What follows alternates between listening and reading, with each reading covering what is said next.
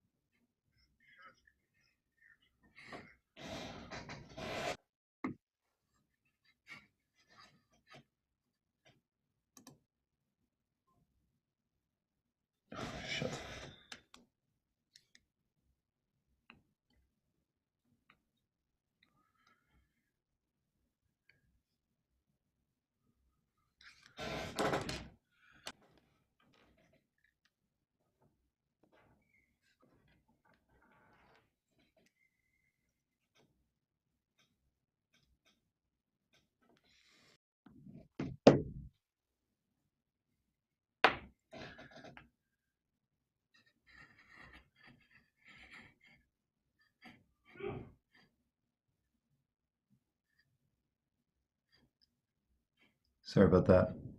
Sorry about that. Um,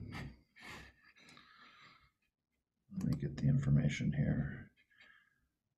What have you got for a meeting ID?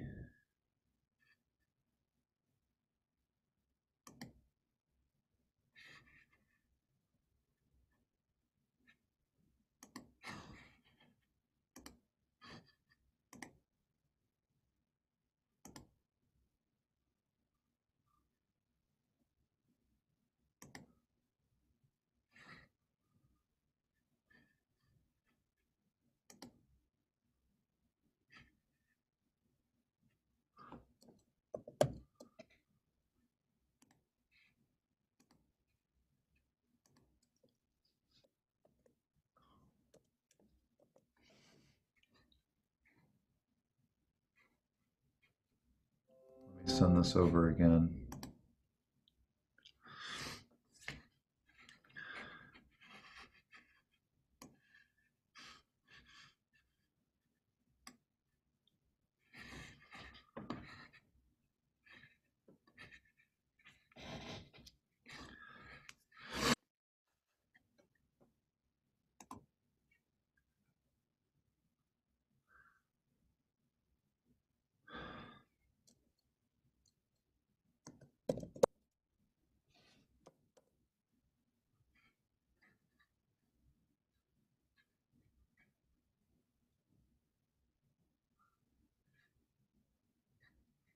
Did. Did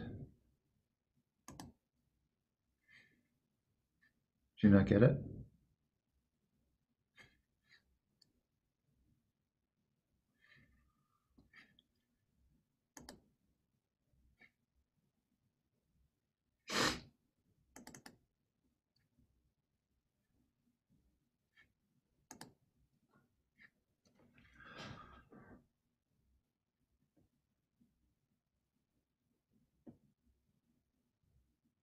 Oh, right. Forget that one. I, am sorry. I didn't send you the panelist one. I sent you the the one for the participants.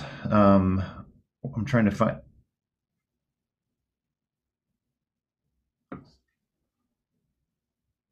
I'm trying to find the email that I sent you yesterday. I can't find it. Maybe it's buried in this string. Oh, because it got sent from from Zoom.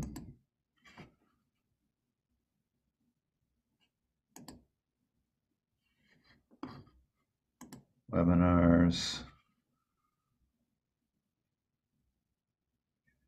I'm I'm in. I, I started the meeting already.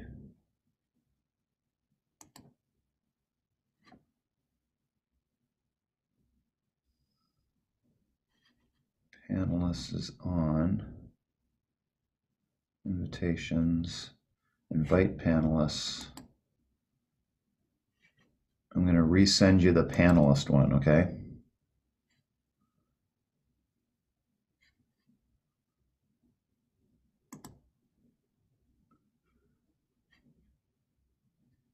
My guess is you've got, you might have to clear your cache. You know, in your computer, sometimes it just, you know, you get, uh, you, you get uh, an address that's stuck in there every time you go to Zoom. It just automatically takes you back to the to a spot. So you might have to clear your cache.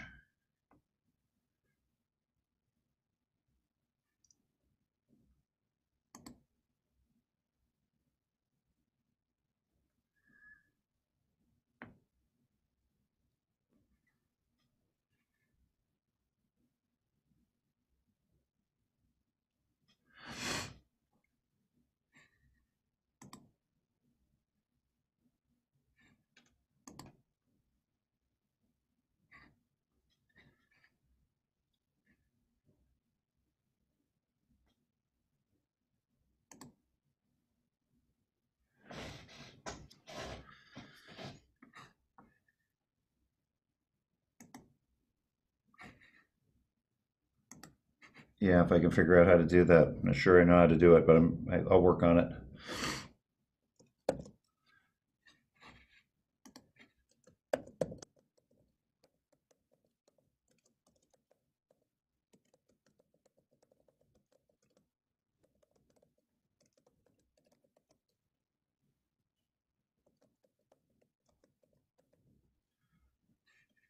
Yeah, I mean, it's 20 after. I would think that he would be in by now. Do you want to call him and find out? Yeah.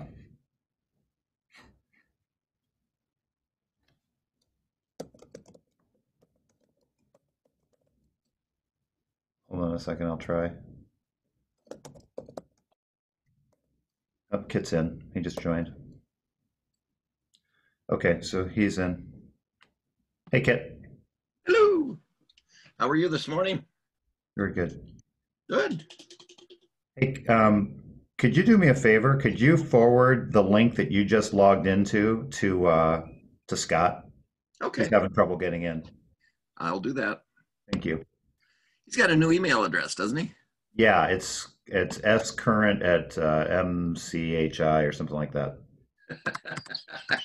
thanks. I. I got it. it's, got a bunch of letters and an at symbol. You'll figure it out. I think he got it. He should have gotten it. I just said I forwarded it. I think we're all set. I did add a couple of videos. Scott wanted that video of me throwing out a pitch, so I took the, I downloaded uh, or uploaded whatever onto YouTube the video that he took of me throwing the pitch. So that'll be towards the beginning, and then there's a couple other videos in there. So I'll I'll make sure. I would like to check the sound on a couple if we could do that. Yeah, sure. You want to go for it now?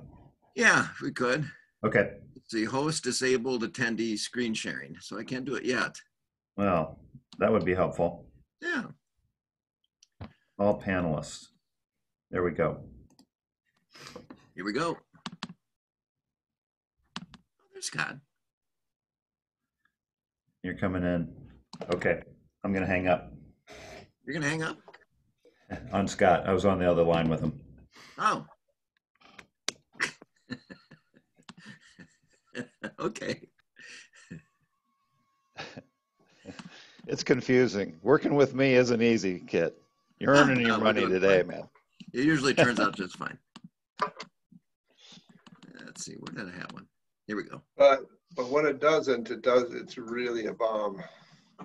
I, under- I understand that if you have earbuds in, this is louder than it needs to be. So, Hi, this is Kit Welchlin, and welcome to Welchlin.com. how's that sound? Good. That Not too good. loud? Yeah, that sounds, no, that's perfect. Perfect. Oh, wow. Perfect's pretty good. Okay.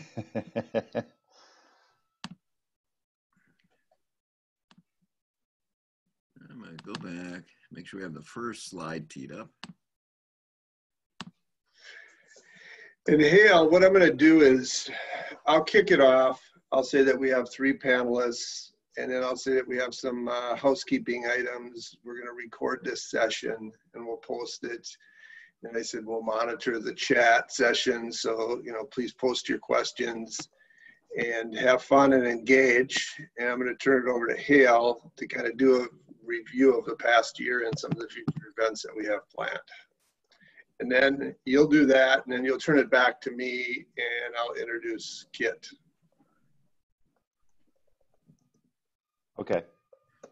Seems like my lighting keeps changing this morning. I'm either kind of shiny or get kind of dark. So.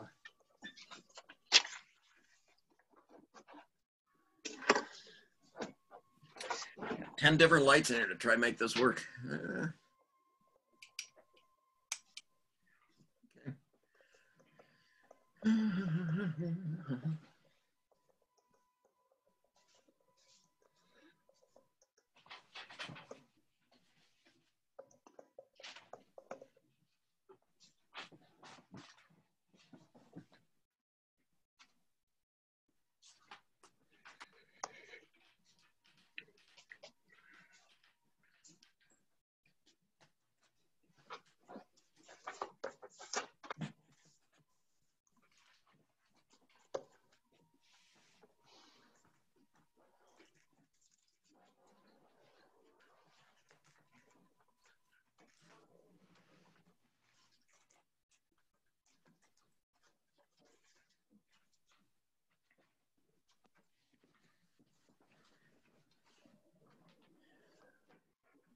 think that worked out all right. Does it look okay?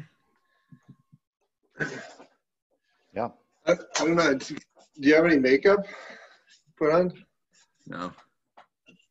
No, I don't.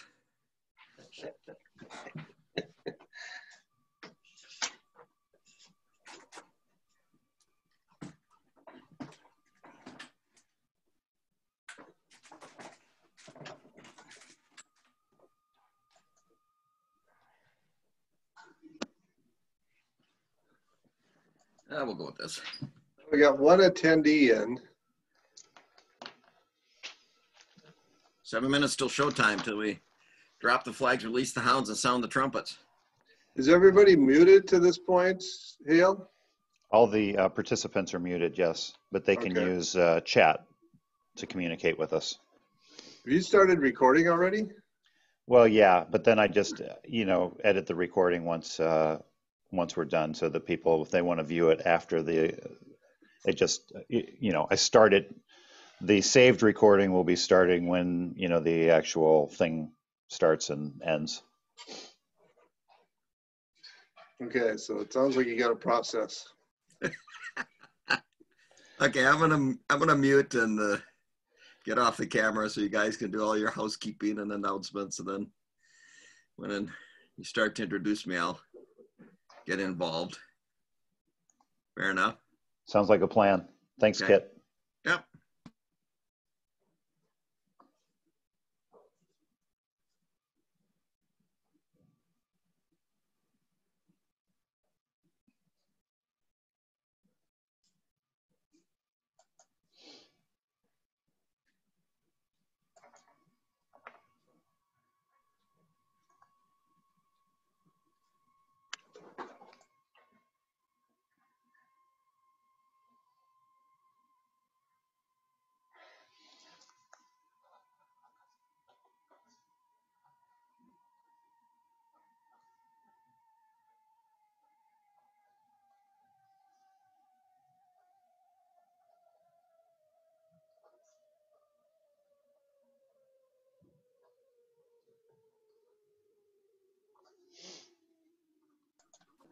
I had two of my pets in my office heckling me, so I had to kick them out.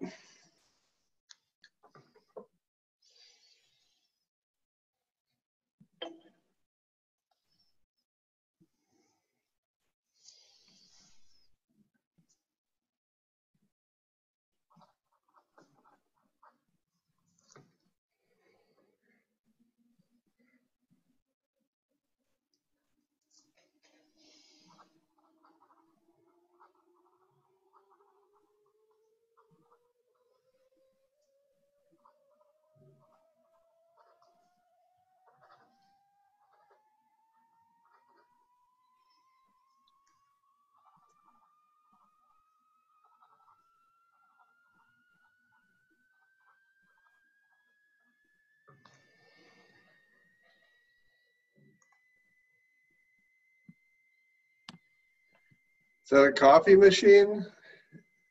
Hale that I hear? That's me writing, actually. Trying to jot, jot down the notes about the upcoming events. Already missed you guys. I had to come back. we, we missed you as well. It was the longest two minutes of my life. I'm leaving again.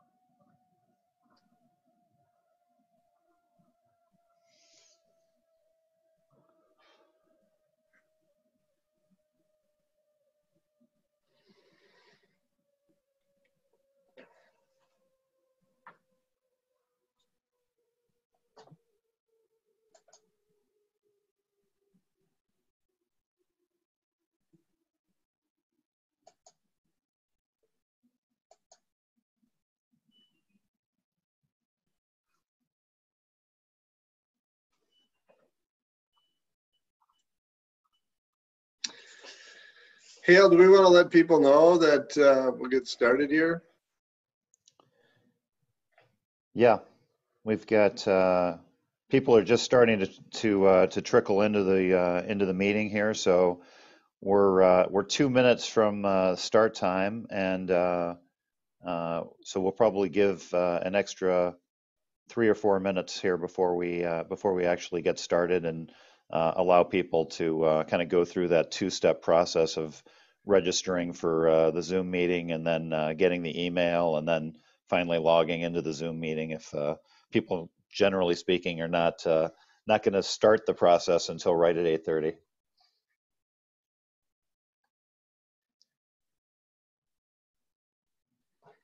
Hale, do we, do we want people to use the Q and A or the chat? Um, I think the chat is best, but I will be able to monitor either one. So if anybody Okay, uh, monitor anybody uh, does select on the Q and A, that's fine. Um, but the chat I think is just easier.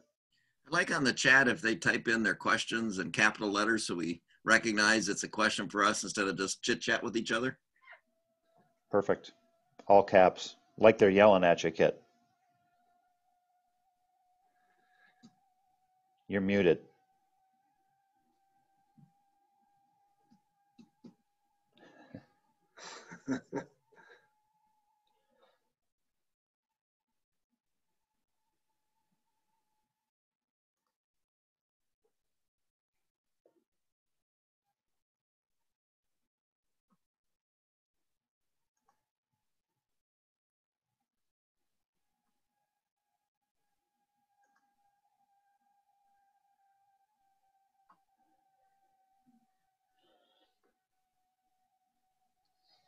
Thanks for joining, everyone. We're going to be uh, just about two more minutes as people uh, continue to uh, come into the meeting.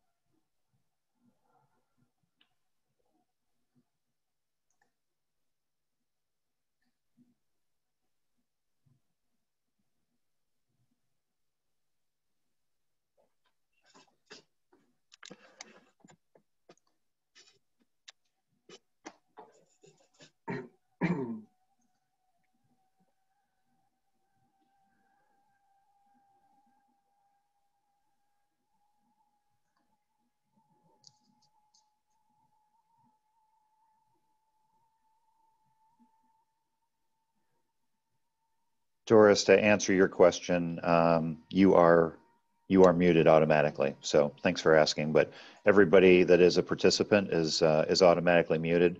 But if you have questions, um, please don't hesitate to use the uh, the Q and A or the chat. Uh, Scott and I will both be monitoring uh, those uh, so that um, we can get those questions to Kit uh, either during or towards the end of the presentation.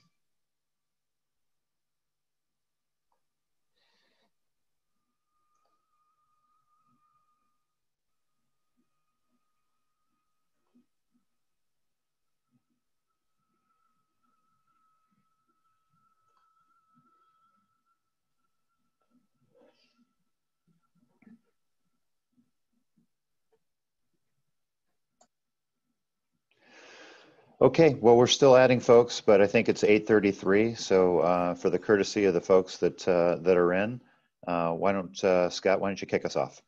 All right. Thanks everyone for coming. Uh, we have an exciting program this morning, embracing the changes caused by COVID in the contact center. I hope everyone's well and safe, and your families are doing the same. We have Kit Welchlin teed up today. Always an exciting speaker. Um, joining you today is myself, Scott Current from Current Connections. We have Hale J from Contact Center uh, Consulting Group, and then of course Kit. Just a couple of housekeeping items. We will record this session and make it available on our website. Uh, so we will post it. Uh, we'll monitor the chats and the Q&A. Uh, if you would type your questions in the Q&A in capital letters so Kit can read them and we can read them, that would be great. Um, uh, just kind of helps us distinguish uh, general conversations from the actual questions. And uh, have fun and engage. If you've seen Kit speak before, you know that he's uh, highly energetic, fun, and uh, you know quite the intellectual. So hoping you get some great insights from today. So before we introduce Kit, I want to turn it over to Hale to do a review of some of the things we've done in the past year, this year. As you know, everything's pretty much been virtual and what we have planned for the future. So take it away, Hale.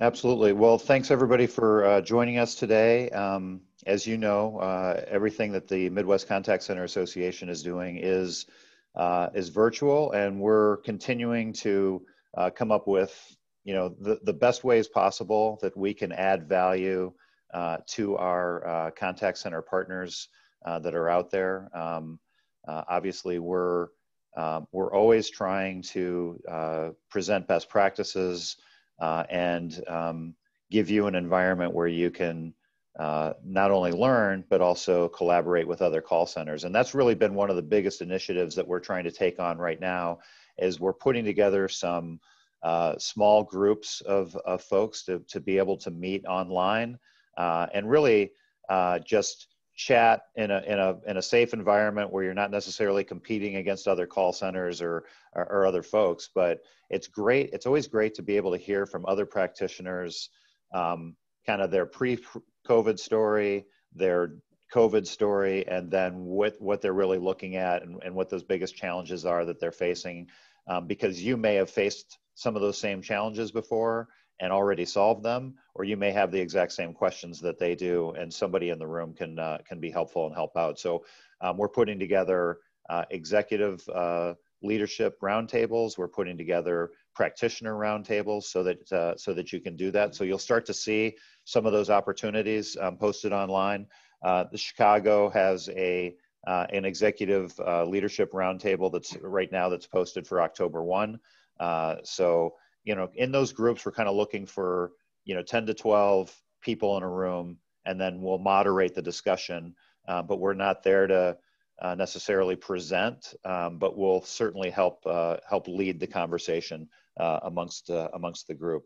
Um, also on October 14th coming up, um, we have a kind of a holistic uh, uh, look at the contact center uh, where Eric Berg will be speaking, and he's one of the board members, and he'll be talking about you know understanding the impact of working from home across all the different kind of workflows uh, that happen within the organization. And so, not just this, uh, you know the, the call queues and uh, the agent queues but really looking at everything that needs to happen all those workflows and how you can kind of help to to tie those things together.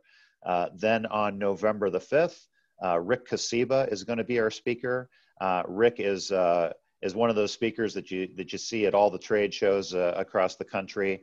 Um, and he he really helps put you know companies put put together data driven plans uh, to help uh, agent performance and he's going to talk about uh, some of the best uh, tips and tricks uh, that are available out there to really help you engage your agents and also help to you know to to really increase productivity and and help you know, both from an engagement standpoint and a productivity standpoint. And then in the first quarter, uh, Brad Cleveland is going to be joining us, uh, and we're going to be having a, a great uh, conversation with Brad, who's pretty much written, you know, the Bible on uh, all things contact center related. So uh, that that'll be a lot of fun to to have him join us. So um, with that, uh, Scott, why don't you introduce? Um, uh, Kit, and maybe uh, just reiterate the uh, the chat feature and, and asking uh, questions. Thanks so much, everybody, for coming. Absolutely. Thanks, Hale. Yeah, just to emphasize, your membership is very important to us, and we appreciate your participation in all of our events, and hopefully you see some of the work that we've done in bringing new events in the future. Hopefully we can meet face to face in the near future. So Kit Welchlin, if you haven't heard Kit speak, you're in for a lot of fun today and uh, you'll come away with some, some great uh, knowledge and things that you can put in play, hopefully in your personal life and professionally. So Kit, uh, born and raised in St. James, Minnesota, uh, he began speaking. We're really not sure when he began to speak, but uh, we know public speaking, he decided to get in front of people and speak at the age of nine. He uh, bought his first uh, manufacturing company at 21, went on to buy three more and be, you know, the CEO and chairman of the board. So he has solid business experience uh, and he continues to be involved. Also emphasizing that he has his uh, master's, or not his uh, master's in business administration and, speech communication. But Kit is a keynote speaker, a national keynote speaker, seminar leader, author, uh, and a member of the National Speaking Association. He's also been inducted into the Hall of Fame of the National Speakers Association in 2014.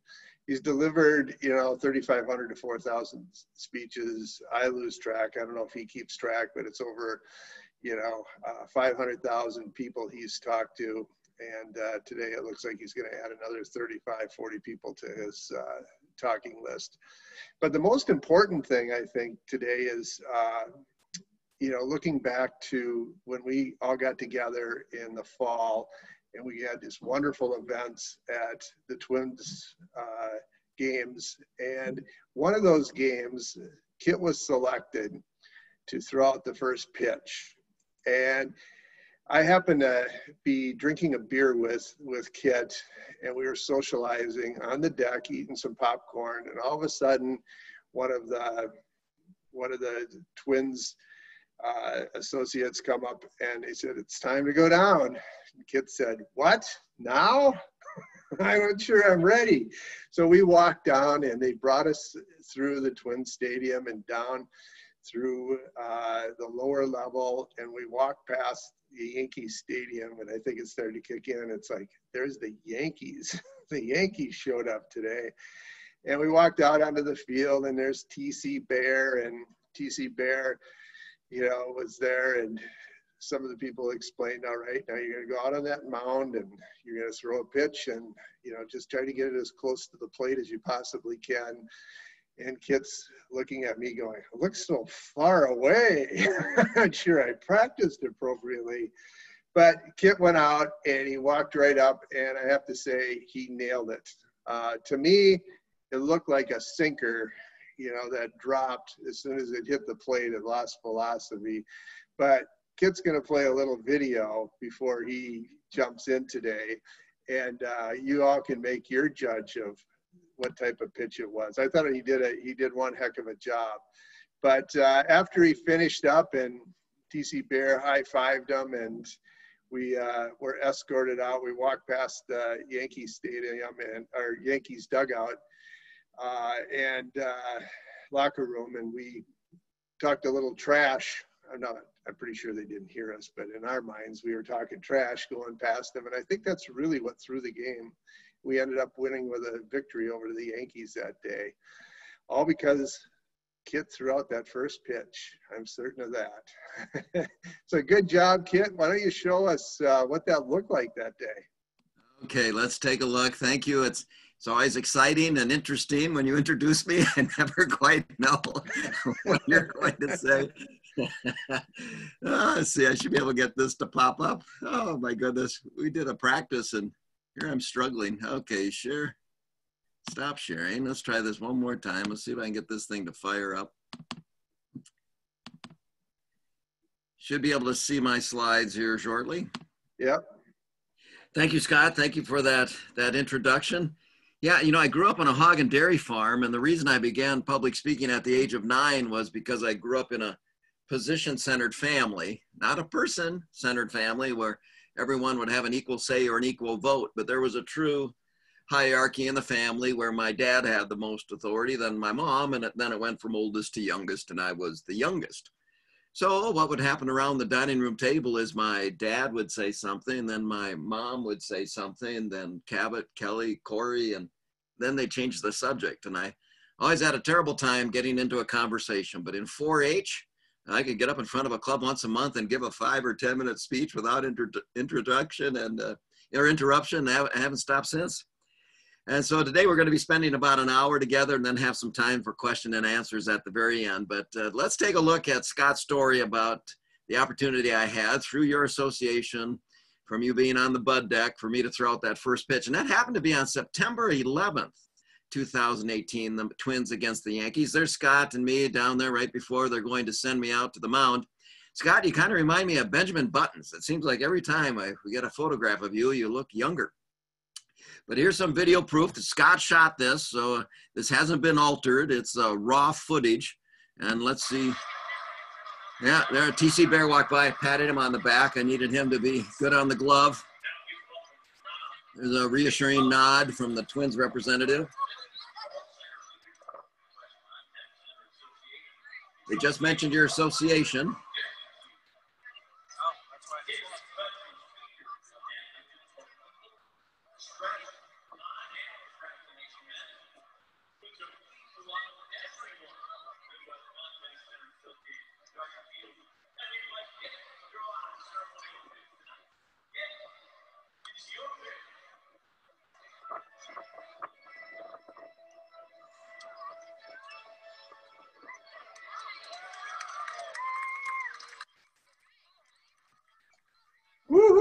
Woohoo! Way to go, Kit. There's proof. There's proof that it actually happened, and uh, it's one of the highlights. It was great to be chosen. It was nice that you folks uh, suggested me.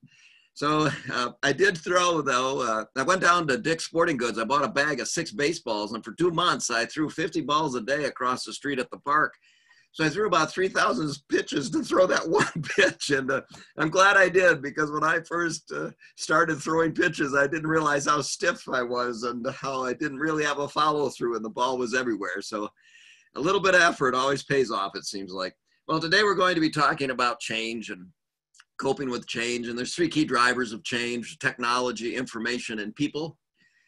And when it comes to technology, it's said that well over 80% of the world's technological advances have occurred since 1900. The first practical industrial robot was introduced in the 1960s. By 1982, there are about 32,000 robots being used, today 20 million. Now, when I was in manufacturing in the 80s, we used to have a rule in the industry that I was in that you would not invest in automated equipment or robotics unless that machine would replace at least seven jobs if you weren't going to get that kind of a return, just keep paying the payroll because by the time you got the capital investment back, the technology would have changed. Now, if we use that old multiplier, and it's much higher today than it was in the 1980s, seven jobs for every robot, 20 million robots, that's 140 million jobs that have been replaced through technology. That's about as many full-time jobs as that exist in this country. Then when it comes to information, more information has been produced in the last 30 years than the previous 5,000 years. A weekday edition of the New York Times contains as much information as a person was likely to come across in a lifetime in 17th century England. Now, I always like to test statistics, so I picked up a 13 week subscription to the New York Times. There's more information in there than you need to know in a lifetime, but because technology can pump it out, they think people are probably going to read it. And of course, they will. So, people, a lot of people. It took 7 million years to get a billion people on the face of the earth, another 130 years to get to 6 billion. And somewhere around 2040, 2050 or so, uh, there's going to be about 10 billion people standing around looking at each other. So more knowledge, reaching more people faster, more change. So I want to share with you the different industries I work with so you don't feel like you've been singled out. But the difference this time versus uh, other changes I've dealt with with other industries is how quick this one happened. Now, I work with the construction industry quite a bit and I came across this article and it's about how they can build 3D, they can build houses now with 3D printers, about 600 square feet for about $10,000 and in about 48 hours. And now they are putting together the equipment that would be on a single semi trailer that could build a, a home up to 2,500 square feet with a 3D printer. So the construction industry might be seeing that coming. And then you've heard about these Amazon, Amazon Go stores where you walk in and it scans your phone and then whatever you pull off the shelves, there's cameras and sensors that record that. And when you leave, it just bills the credit card you have attached to your phone. Uh, so I know that when I first uh, noticed that you could check out your own groceries and or at Walmart, you could check out your own goods. I really wasn't that interested in it. And then all of a sudden I tried it a couple of times. And well, I think the 3.5 million people that make their living as cashiers might be a little bit concerned about that.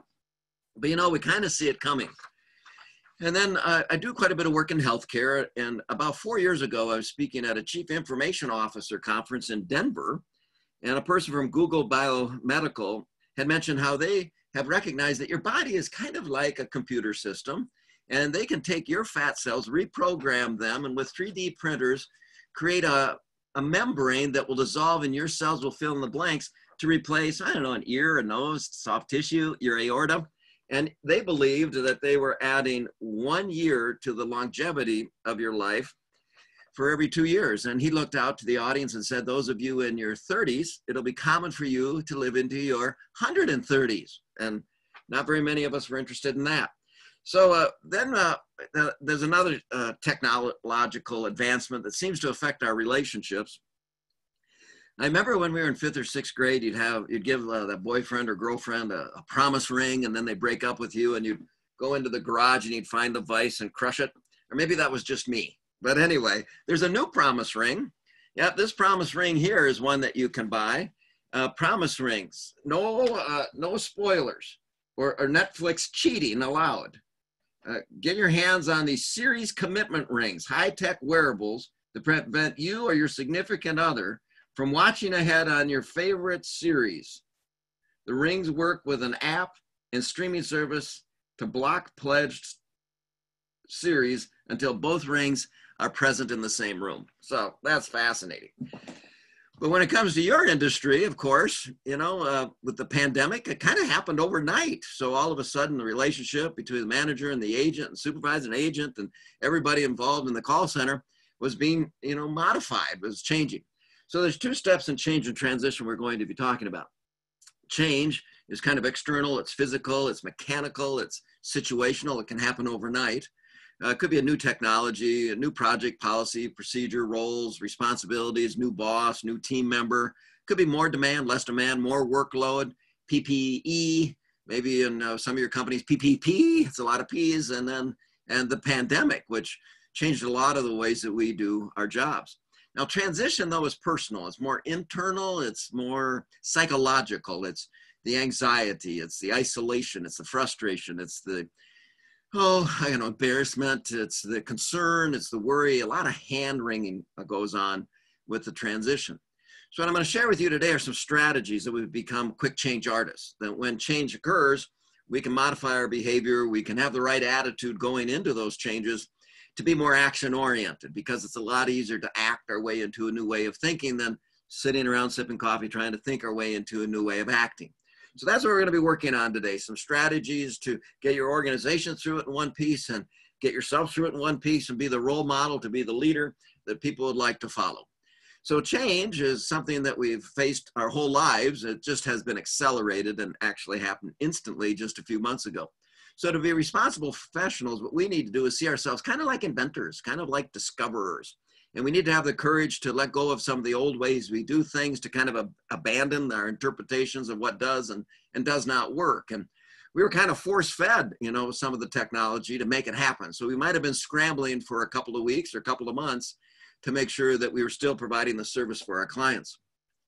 One of the things to keep in mind is that there's three critical connections we need to make sure that we maintain. People need to feel connected uh, to the fundamental identity of the organization. So whatever we can do to make sure they still feel like they're part of the team. Uh, people need to feel connected to the new information. So we have to figure out with the new communication channels how we're going to provide that information efficiently and effectively.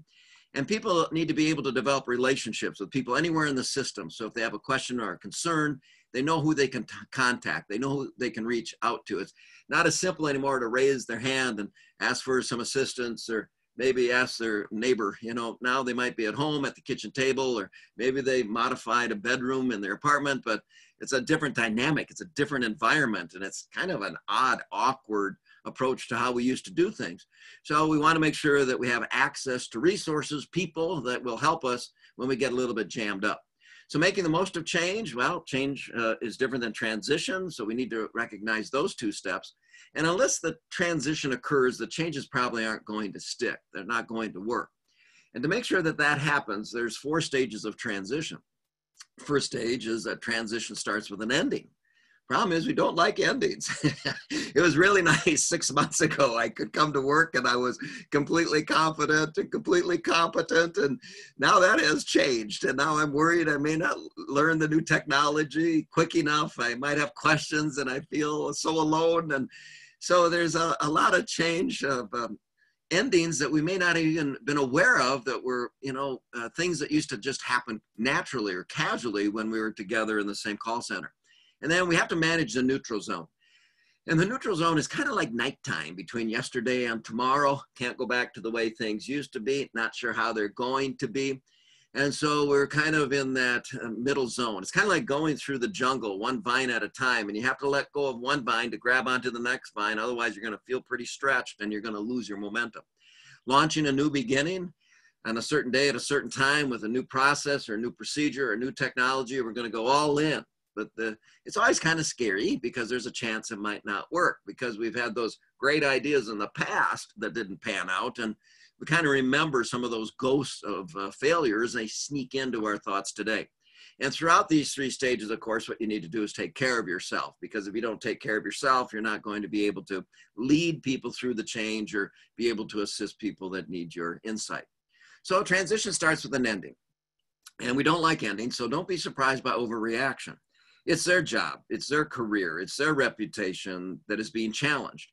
And it's a lot of who we are, our self concept comes from who, you know, what we do.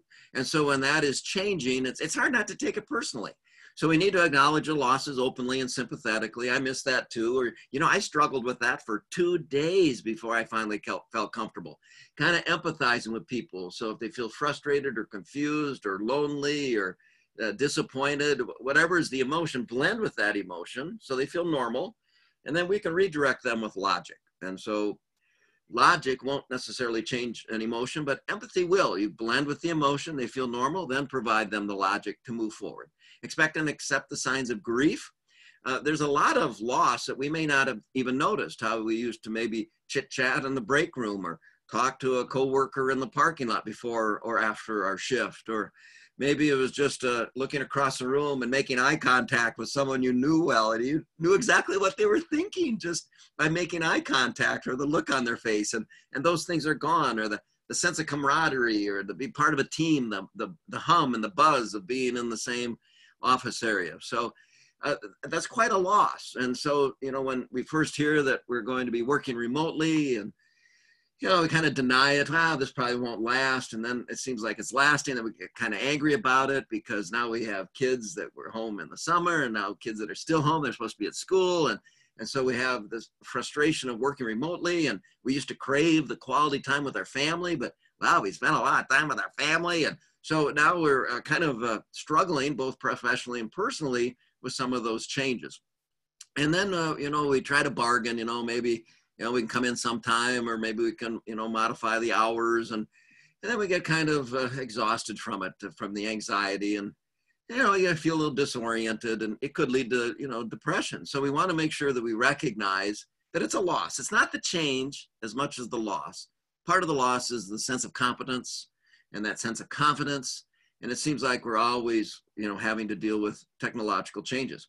If you would have told me six months ago that in my business, that delivering speeches or seminars, I would need to learn seven different platforms to do that, I would have said, no way but I had to. And so it was kind of forced upon me to learn Google Meet. I had to blow the dust off of Skype, uh, GoToWebinar, go to meeting. Uh, here we are on Zoom, WebEx, uh, Microsoft Teams. Uh, yeah, uh, earlier this week, I for the first time I delivered a presentation on StreamYard, and then uh, next week I get to learn something called Loom, which I've never heard of. So you know, uh, the loss of that, being able to just go to the event, to set up my space, you know, to deliver my message. And now, you know, it's like getting out of a, an American made SUV and getting into an imported sports car and taking a look at where's the signal light. Okay, I see the signal light. How do I turn the radio on? Okay, I got that, you know, and oh, that's right. It's a manual transmission. And, you know, it takes a little while for us to get oriented. So uh, that, uh, that loss can be subtle but it is significant. And sometimes we don't notice all those losses. So we want to show that uh, one of the ways to help is to show how what we're currently doing, you know, focus on the continuities of what really matters. We're still, you know, taking the calls. We're still providing the information. We're still serving our clients. We're still, you know, living up to the reputation, our mission statements and value statements. It's just a different, just a different format. It's it's just a different platform. And and of course, it feels awkward. And, and then we think we've got the hang of it. It feels kind of phony because then, you know, something will happen and we realize, well, I really don't have it all down. But you just got to work through that. But if we can focus on the continuities, that gives us a really strong foundation to absorb more changes going forward. So the key is in your conversations, and I love that Hale mentioned you're going to have those groups. I'm in I'm in two different mastermind groups. We call them mastermind groups. That one every other Friday we have a little Zoom call where we talk about what we're struggling with and we help each other get better at that. But when you talk with your colleagues about to change, you got to discuss what's over for you, uh, what's over for everyone, and then what's continuing. To talking soothes the emotion. Not talking kind of stirs trouble. So we want to make sure we have that open dialogue. Then we have to manage the neutral zone. That's where we are kind of uh, switching horses in a way from the old technology to the new technology. Anxiety rises and motivation falls about 50%. In some organizations, in some industries, absenteeism goes up three times the normal rate because people just don't want to deal with any more change. They're just exhausted from it. They just don't want to face it. They'll start taking their PTO or sick days and just not come to work. Uh, but the neutral zone can also be a creative zone. This is where we can kind of open up the valves of innovation and encourage experiment and kind of foster innovation. When it comes to innovation, we can look for new solutions. We can brainstorm new ideas to solve all solve old problems. So kind of think of your organization now more like research and development. We're we're learning. We're you know not losing.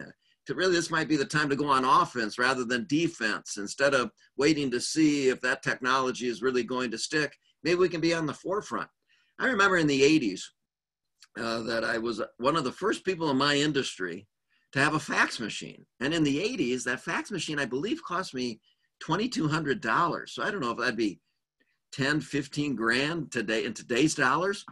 But all of a sudden, I could respond to my clients instantly. And, and it's far, you know, it's fascinating to chirp out that paper that would roll up, you know, and then you'd have to kind of iron it out so you could read it. And sometimes it looked kind of brown over a day or two.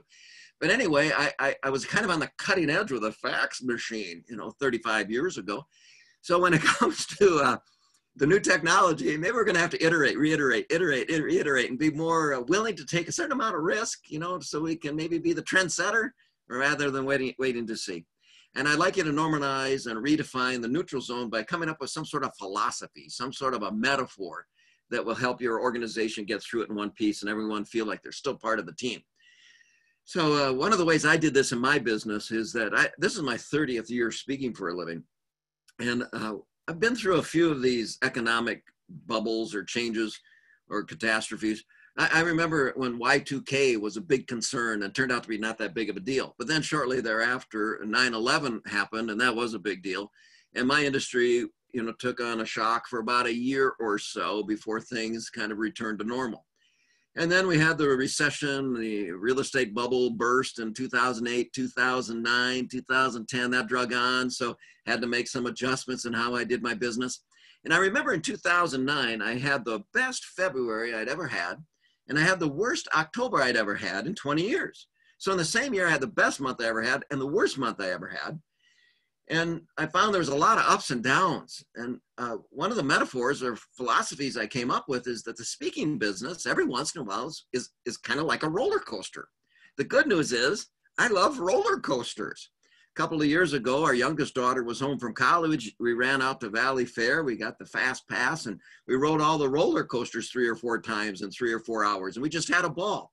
So if I think about the speaking business as kind of a roller coaster, ups and downs and twists and turns, exciting, exhilarating, terrifying, but I love roller coasters.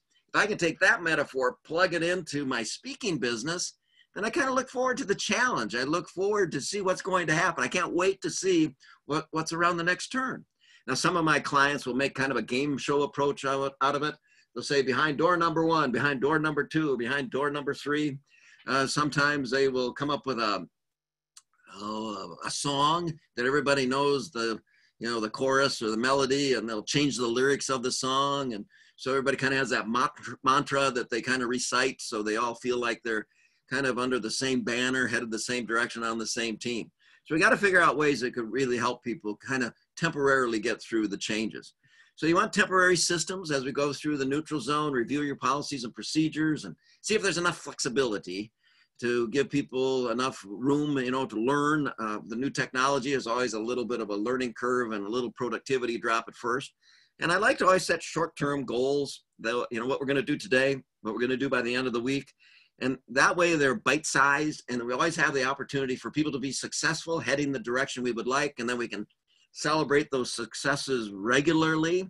So we want to make sure that we, you know, take a look at any special training that people may need, whether it's the technology or thinking more creatively or just absorbing the shock of change like we're talking about today and managing stress or working together differently as a team. But we want to make sure that we provide those resources. And since we're talking about teams, you know, I think years ago I worked with you about uh, putting together a, a team uh, in the call center and we talked about these four phases of team development, orientation, and then uh, sometimes call that forming, you know, getting a group together. What are we doing? You know, uh, what's, what's going on? And then storming, a little bit of conflict, lively debate, different perspectives are shared, different opinions are aired. And so we have that lively conversation. And then norming is we informally, we don't use parliamentary procedures and ask for a discussion three times and wrap the gavel or, you know, take a vote. But, uh, you know, a normal, uh, kind of a informal rule in how we resolve those conflicts. And then uh, performing, that's where we say who's going to do what when. So orientation phase, you discuss the project, the picture of the plan, the part people are going to play, roles, responsibilities, communication norms, how we're going to share information, and how team members can be successful if we have someone new joining the team. So you make proper introductions of new people and build rapport, and and and that builds trust because you know each other. We have to know people before we trust people. So uh, four phases of team development, orientation, forming, conflict, the lively discussion, and then interactions, behaviors, merging ideas, how we compromise to reach agreement, and then who's going to do what, when, where, and how. So those phases are pretty clear. It's kind of like riding a roller, not a roller coaster, but an elevator, you know, like first floor, orientation, second floor, mm, gonna have a little lively discussion. Next floor, oh, we gotta figure out how to resolve the conflict. Then you might go down a couple of floors. What are we trying to do again? But you know what the next floor is going to be. You know what the next step is going to be. You know where you're headed. Or you need to backtrack, you know where you're at. So it's kind of nice to know what the next step is. But it's a little bit different now so the new normal, we have new phases in a way, and we kind of call this renorming and informing and transforming, outperforming and celebrating the new more, more norming. So it's, it's a little bit different combination of activities. So renorming is we acknowledge you know, work is different. And so we all agree, you know, it's not the same. Then we establish agreements as far as responsibilities and quantification and communication. And we share any concerns we have as far as flexibility, whether it's hours or results or accomplishments. And then informing, we talk about the communication, the modes, the quantity, quality, formality, informality, email. You know, we're going to have video conferencing. We're we going to see each other? We're going to Zoom call, or we're we going to use Slack or some sort of a kind of a communication board that people can, you know, share information freely with each other and then transforming, building a kind of a new culture now, you know, more remote workers, but we want to make sure they feel included. So how are we going to come up with some methods for strengthening relationships and encouraging discussion and disagreement and dialogue? So we get all those creative ideas, we get all those insights, kind of creating a third reservoir of knowledge that didn't exist before. And how we're going to follow through on accountability. And then outperforming is with these newfound and developed skills, you know, we maybe can enhance our customer service. We can maybe be more creative in solving problems in the future. And sometimes when I give seminars on problem solving and decision making, we have to stop and think, you know, when something significantly changes in our industry, is this really a problem? Or is this just a situation? Or is this an opportunity? And if we can take a look at the menu of different ways we can approach the issue, we might think it's a problem, it's a really terrible thing. And then I have people go through the seven steps of solving that problem thinking it's terrible. Or we can go to the other end of the extreme and say, this is an opportunity. We're so lucky that we have this challenge. And then they think about how wonderful and exciting it is, this new opportunity, and they go through those seven steps to solve the problem. And then we come back and say, you know, it's just a situation. Everybody in our industry is dealing with this and then go through those seven steps in solving the problem that this is just the general course of business. But then when you get done, you have literally three different answers in how you would solve that problem. So then which one of those would you like to invest the emotional energy and time to, to put into place, to implement? And it's kind of, kind of, it's really fun to see how different those solutions can be if we just change kind of the context of how we're approaching them. So modifying our processes and trying to deliver increased performance and better results. And then of course, celebrating, we never want to forget that. And uh, since we have gone through the gauntlet of the changes in the neutral zone, it's elevated trust, it's enhanced our enthusiasm, it's reaffirmed our confidence. We have that back, and then we're kind of asking, what can we try next? Because we have this newfound approach to technology. So one of the things that will help is to make sure you have these conversations with your coworkers and colleagues What's causing anxiety and the rest of the staff concern?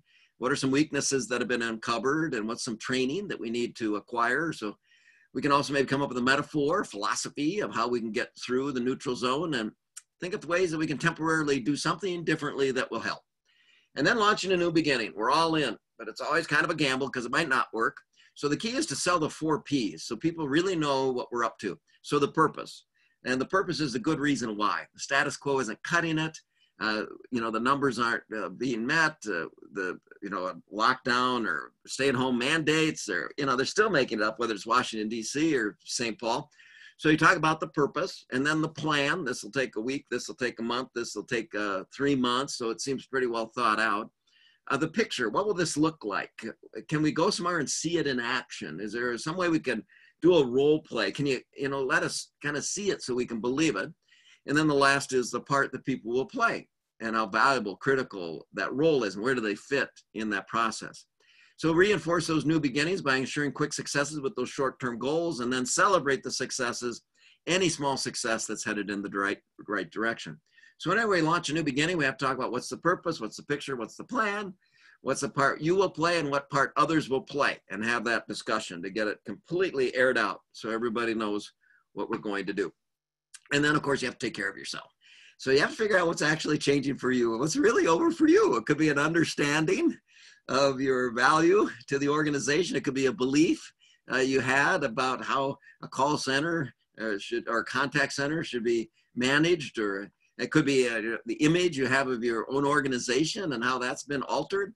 And we have to really distinguish between current losses and, and old wounds so we don't drag in oh, you know, ghost stories from the past when things didn't work out. And we can identify the continuities in ourselves, you know, what are our personal interests, relationships, and recreational activities that aren't changing. They might be, you know, involved in them differently, you know, wearing a mask instead of, you know, you didn't have to wear a mask, or might be, you know, creating a certain amount of distance where it used to be more, hey, you know, a, a handshaking or hugging or those sort of things. But you know, there's a certain amount of our life that hasn't changed either. And sometimes we can do an accounting of that and have that as a foundation to move forward. So I'd like you to kind of put together a learning adventure just to experiment a little bit every day and make a plan to change your life a little bit and think about the purpose and the plan and the picture, what this will look like. And, you know, the part you will play and other people will play. Have that conversation with your family members and your colleagues. So making the most of change, I think this is the way to do it. Just keep showing up, be present, be engaged, be involved in the conversation, share your perspective, frustrations, vulnerabilities. Only if we know those can we help people.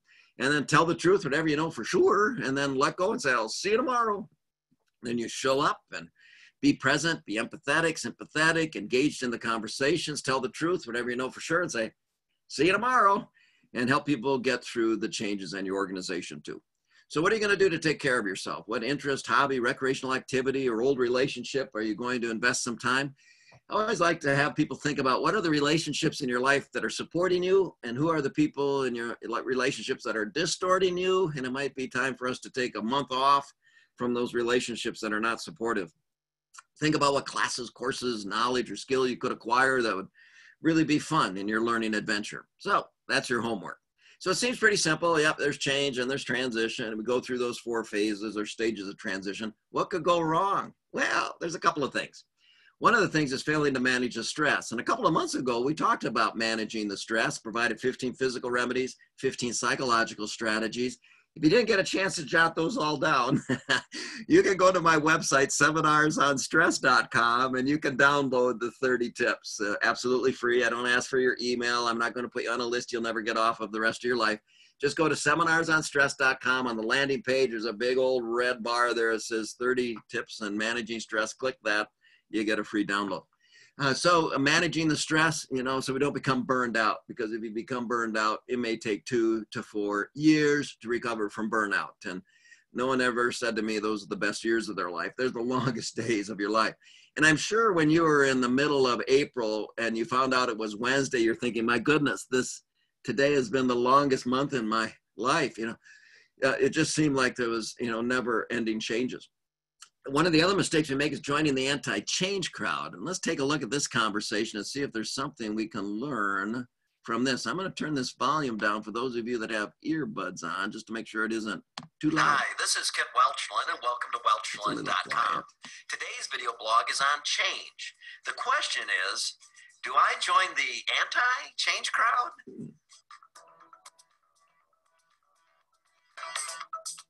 Oh, oh, okay, great. Just got a message from IT. They're upgrading everyone's cell phone across the organization again. But I'm just getting used to this one. Ah, there's so many changes going on around here. I miss the good old days. Why can't things just stay the same? I'm thinking about forming or joining an anti change crowd. Well, I would not recommend joining the anti change crowd. Uh, some people will decide not to change and they may not be able to keep their career.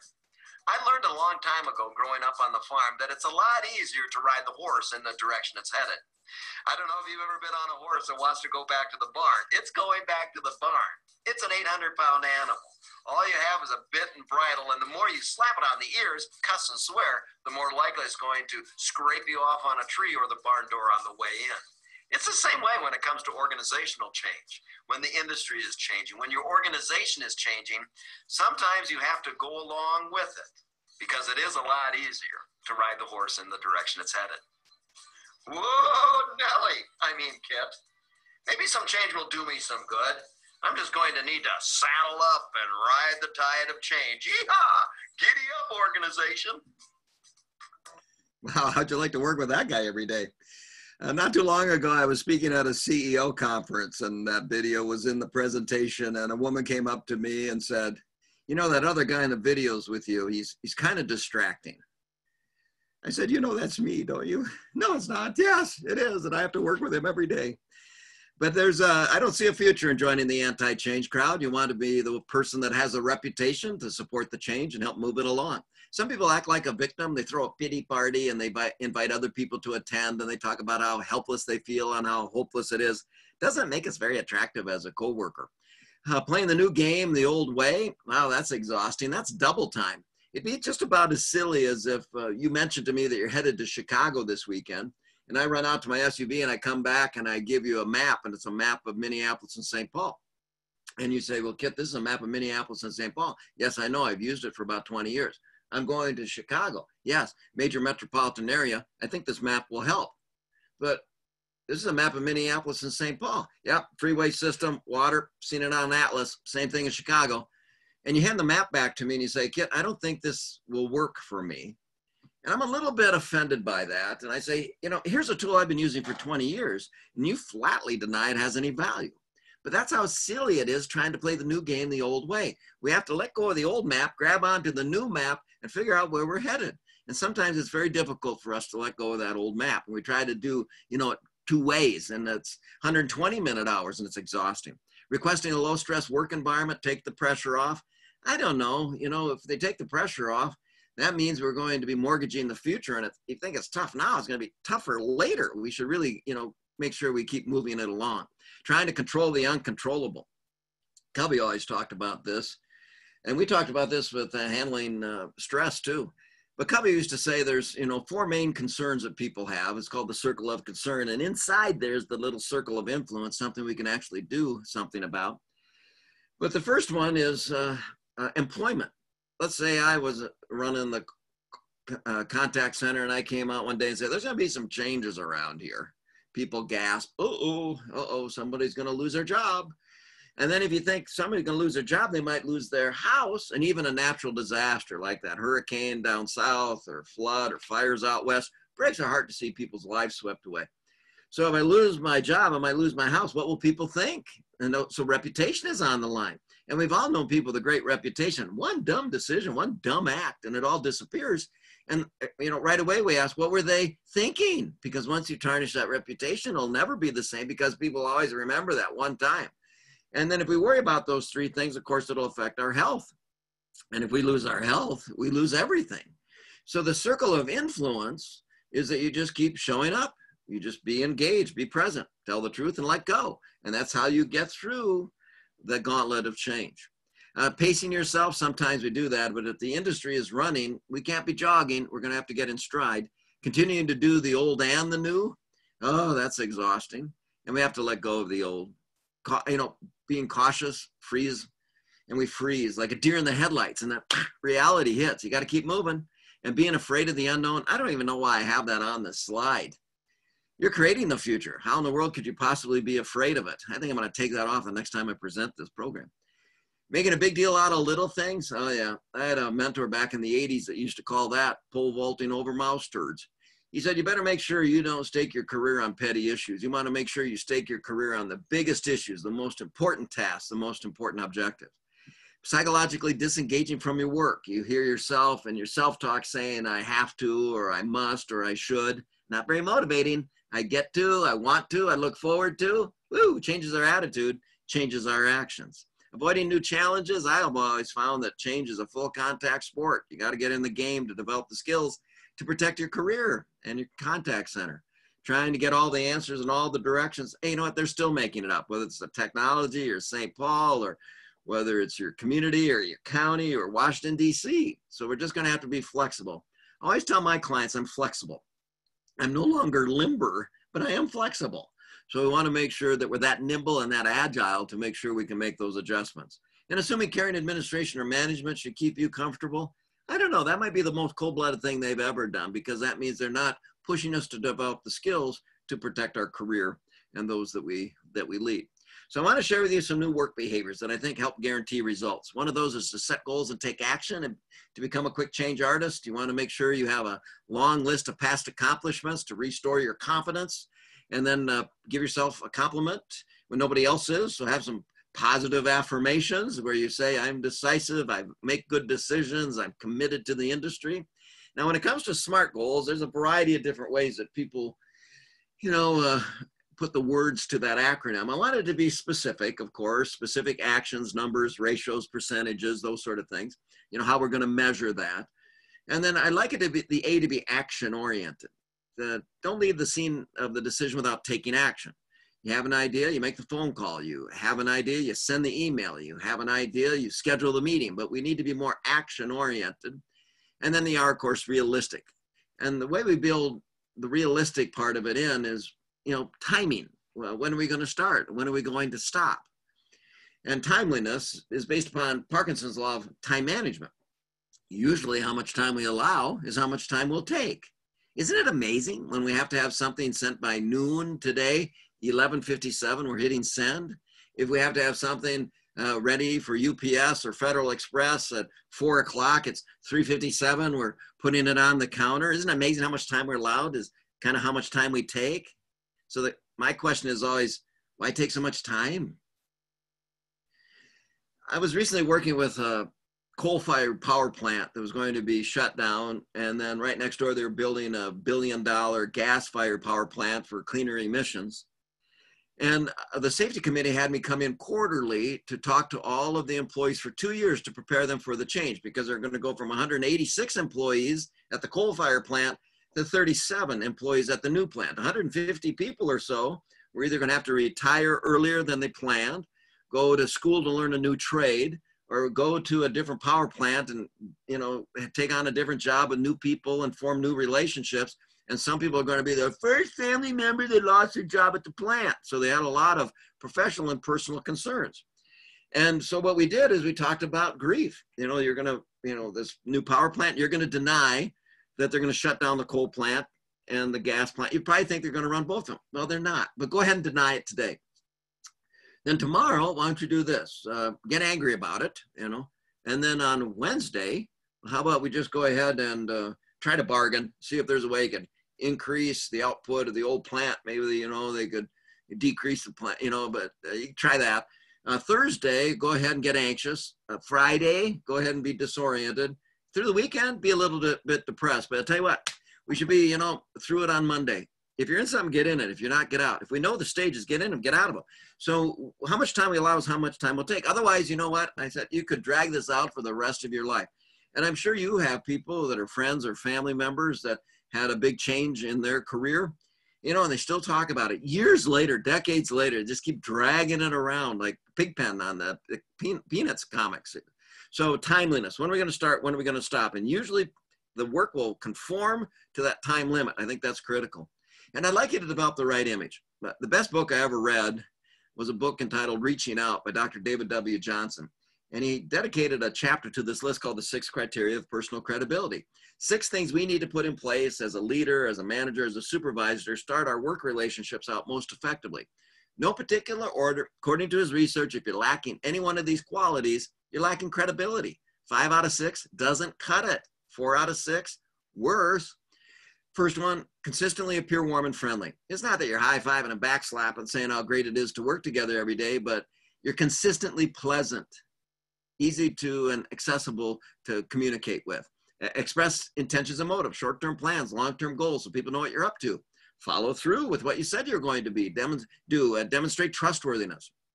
Uh, be an information source. What's pinned, pasted, posted on the wall, the guidebooks, handbooks, website. To the point, you develop relevant expertise in certain areas of what you do. You know more about that than anybody else. And when people have a question about that, they seek you out for the answers rather than wasting their time talking to anyone else. And the last is you demonstrate dynamism, natural enthusiasm. It actually appears that it, you enjoy your job. And when you walk in a room, the lights get a little bit brighter rather than a little bit dimmer. When you come to work, people are happy to see you rather than resenting the fact you showed up again today. And they're all free. It's all they're all free. And I'd like you to manage time management, become the master of time management, and to minimize self-generated time wasters and to minimize environmental time bandits. And the way I'd like you to approach this is think about your daily activities and what 5% of what you're currently doing could you do less of, which would free up 5% of your time to do more of something that really is a better use of your time. And then what 5% of your activities can you stop doing waste of time that would free up 5% of your time to start doing something you haven't done, but would have a tremendous impact on your future success.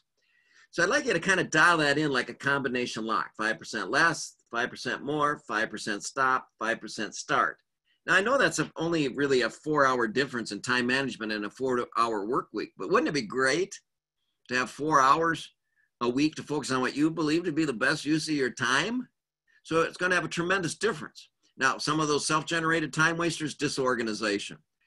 what did our parents used to say? A place for everything and everything in its place. Awfully good advice. I have a time management book over here that claims we spend 45 minutes a day, personally and professionally combined, just looking for things. Six work weeks, just looking for things.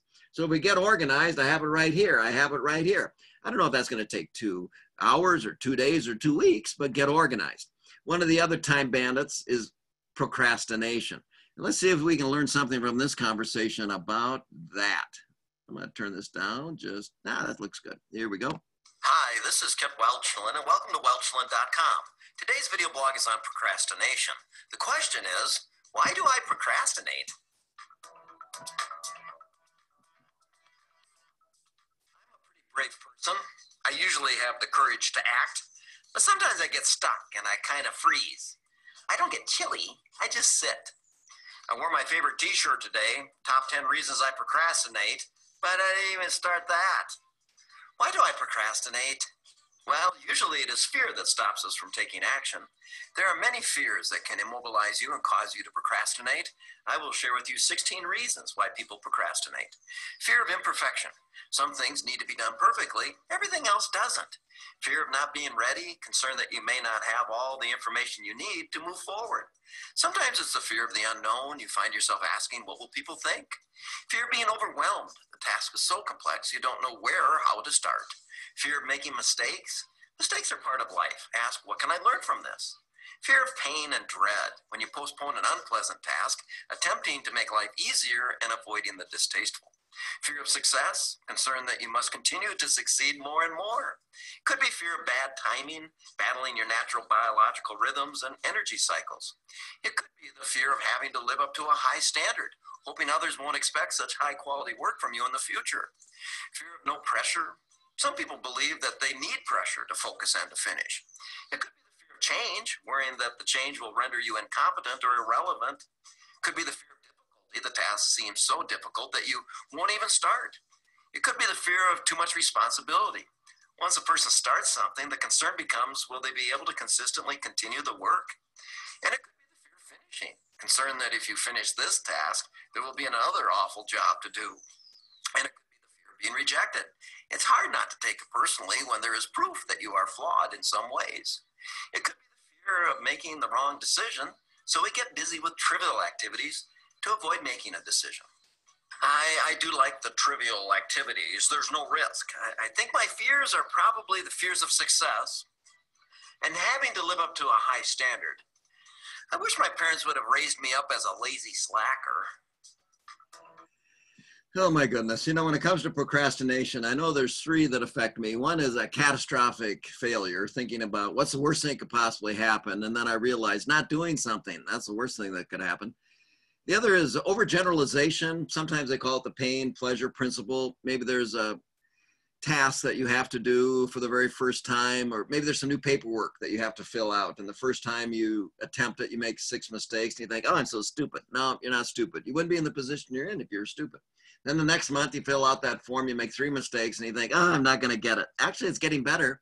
And you might not notice that over the last four months, you know, you've been filling it out accurately. But because that initial experience with it was so painful, we push that off to do something more pleasurable. That's when I'm a little surprised that I do this for a living, giving speeches and seminars.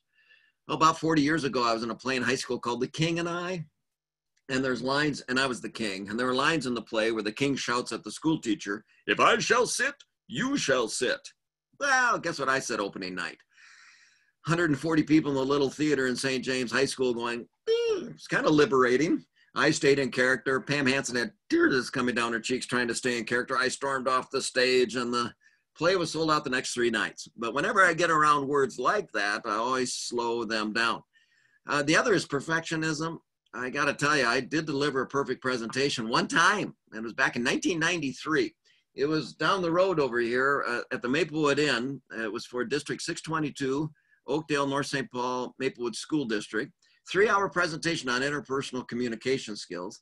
I wanted to take a break every hour on the hour, and I'd say it's time for us to take a break. I'd look at my watch, and second hand was just sweeping by. I mean, exactly an hour. Then everything I said that was supposed to be funny, I was hilarious. Everything I said that was they were supposed to take seriously, they wrote it down. I never got tongue tied for three hours. everything I wanted to, you know, eh, three, 30 people, 30 evaluations, 30 tents. It was perfect. And I remember walking out under that awning at the day's end. I took a look to see if there was a cloud in the sky, thinking for sure I was going to get hit by lightning. I don't know if I had watched Caddyshack too many times or what. I looked a half a dozen times before I crossed the street, thinking for sure I was going to get run down in the road. I drove exactly 55 miles an hour on my way home on Highway 36. My hands were trembling. It was so uncomfortable to give that perfect presentation. I made sure it hasn't happened again since. Set your standards low, then you can always overachieve. That's what I say. But those are the things that kind of stall me. So procrastination, you know, it's a daily battle. Inability to say no. The key is to say no, give the reason. No, give the same reason. No, give the same reason. Got to push past that Minnesota or Midwest nice. We know this. Even the best salespeople don't close four times. So people will finally believe you if you say the same reason three times. Lack of interest, we got to build that in. Now, for me, I've been able to stay in business for 30 years, and this is my model. I deliver a presentation, I make two phone calls. That's it. I show up and I call people back. And then I get my treat. Now, my treat is a Russell Stover French mint. There's only 60 calories in that little chocolate cube of heaven. I leave them in the refrigerator because I think they stay, I think they taste better cooler. Now, next month, I go to the fun size Snickers. You can buy them all year round, not just during Halloween. I put those in the freezer, uh, but don't bite them right away because they're like little bricks and they'll break your dental work. So uh, I just think they taste better frozen. And then uh, the next month, because I'm kind of a cheap man, I go to the Andes mints. They kind of taste like wax, but they're only a buck 44 a box at Cub. And uh, so uh, that still motivates me. So my uh, daily reward is a, a little snack, a little treat. And so you got to figure out how you reward yourself daily. So you build in that interest. Burnout, we talked about stress last time. You know, we don't want to become burned out, have physical remedies, psychological strategies. Don't get engaged in gossip because if people are talking to you today about somebody else, they'll be talking to somebody else about you tomorrow. So we want to nip that in the bud. And then unnecessary perfectionism. Yep, some things need to be done perfectly, everything else doesn't. If I'm laying in the hospital bed and the doctor and nurse are saying, is that 50 milligrams or five milligrams? I'm to say, hey, would you double check that? But if I if my chicken dinner comes and I was hoping it'd be hot and it was just warm, eh, you know, I'm okay with that. You know, so perfectionism, yeah, some things not, need to be done perfectly, but you know, most things don't.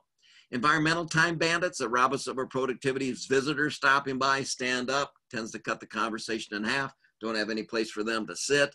Ask questions, you know, before I leave. Would there be anything else? You know, I, that's right. I have something I need to do for you, and get out of the conversation.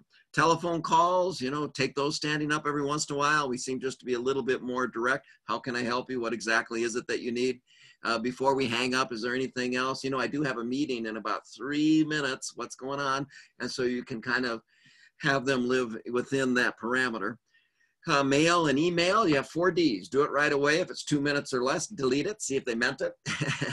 uh, delegate it to somebody else, see if you can get somebody else to do it, uh, or defer it. And so let the person know I will work on that Friday afternoon between 1 and 3 p.m. So they know you got it and you're going to take care of it.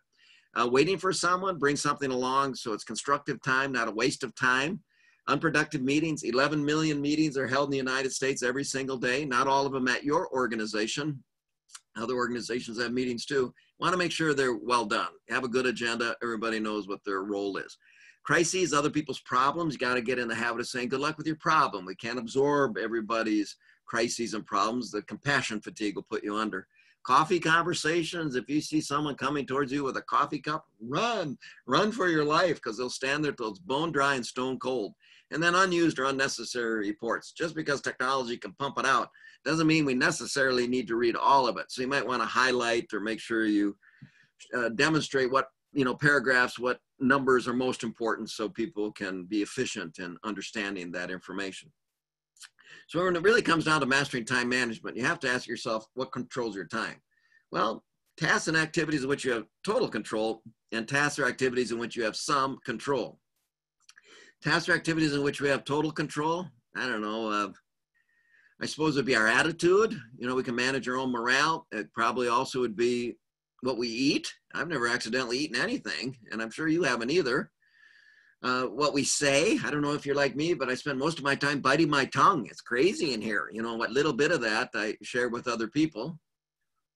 I suppose what we wear, you know, to make sure we're dressed, you know, to play the part or that we're expected to uh, professionally. What we do, we have quite a bit of control But after that, it tends to be just tasks or activities in which we have some control, which is everything else in our life. We just need to take a little bit of that control back. So there's three tests of time I'd like you to consider when you're going through tremendous change. One is test of necessity. Do we really need to do that anymore or not? Would our customers notice? Would our competition notice? So test of necessity. Do we really still need to do it or not? Now, if you need to do it, then it's the test of appropriateness. Who can do it? Who has the talent, ability, and skill to perform this task? Do we have someone within our organization that can do that, or do we need to outsource someone that can do that? Because we already agreed it has to be, it's necessary to be done. So now we have to figure out who could do it. And then the test of efficiency. How could we use technology? How could we improve the process or procedure just to be more efficient?